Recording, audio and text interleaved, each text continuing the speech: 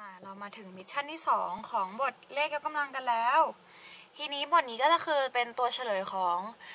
speed test ของเรานั่นเองเนาะก็จะเป็นส่วนที่ค่อนข้างง่าย แต่ว่าให้น้องๆเนี่ยฝึกเน้นความเร็วความแม่นยำคือทำเร็วแล้วแต่ต้องแม่นด้วยถูกด้วยโอเคปะเพราะฉะนั้นมาเริ่มข้อที่หนึ่งกันเลยนะ อย่าลืมทำก่อนนะโอเคปะข้อหนึ่งสองกำลังสี่คูณสองกำลังห้าเป็นไง แค่ถาม สมบัติง่ายๆของเลขกำลังเองใช่ปะการที่เลขยกกำลังคูณกันฐานเหมือนกัน เอาเลขชี้มา มาบวกกันจริงปะก็ตอนแรกมีสองคูณกันอยู่สี่ตัว อีกอันหนึงมีสองคูณกันอยู่ห้าตัว แล้วจับมาคูณกันแสดงว่ารวมกันเป็นกี่ตัวเนี่ย ก็คือเอามาบวกถูกไหมตอบข้อไหนเลยเขาแค่ถามสมบัติง่ายๆเองจริงปะตอบคอควายเลยก็เอาเลขชี้กำลังมาบวกกันนั่นเองเนาะ ข้อที่สองเป็นไง เหมือนกับข้อที่แล้วเลย ฐานเหมือน ฐานเหมือน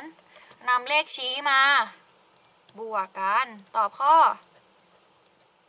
ตอบข้อ ข้อควาย ไปเร็วนะ ค่อนข้างง่ายเนาะ ต่อมาข้อสามถามอะไรอีกแล้ว เหมือนเดิม ฐานเหมือน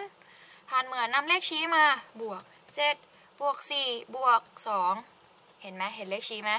เจ็ดบวกสี่ได้สิบเอ็ดบวกสองได้สิบสามก็เป็นลบสามทั้งหมดกำลังสิบสามตอบข้อขอไข่แบบนี้เห็นเปล่าต่อมาข้อที่สี่เป็นไง เหมือนเดิมฐานเช็ค เหมือนเป๊ะก็เลยเอาเลขชี้มา อันนี้มีหนึ่งอันนี้มีสามมันก็มีสี่หนึ่งบวกสามบวกสี่ได้อะไร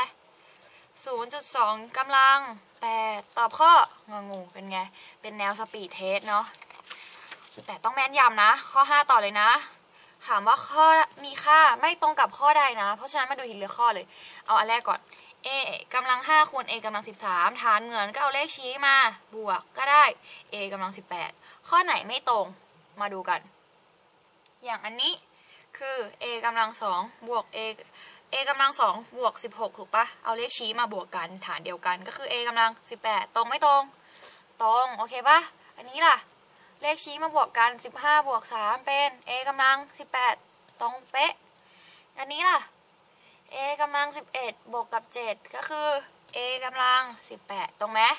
เหมือนมาก อันนี้ล่ะ a กำลัง 12 บวก 7 เป็น a กำลัง 19 เป็นไง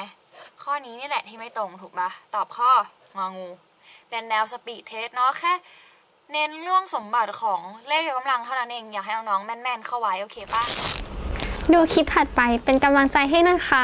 สู้ๆค่ะ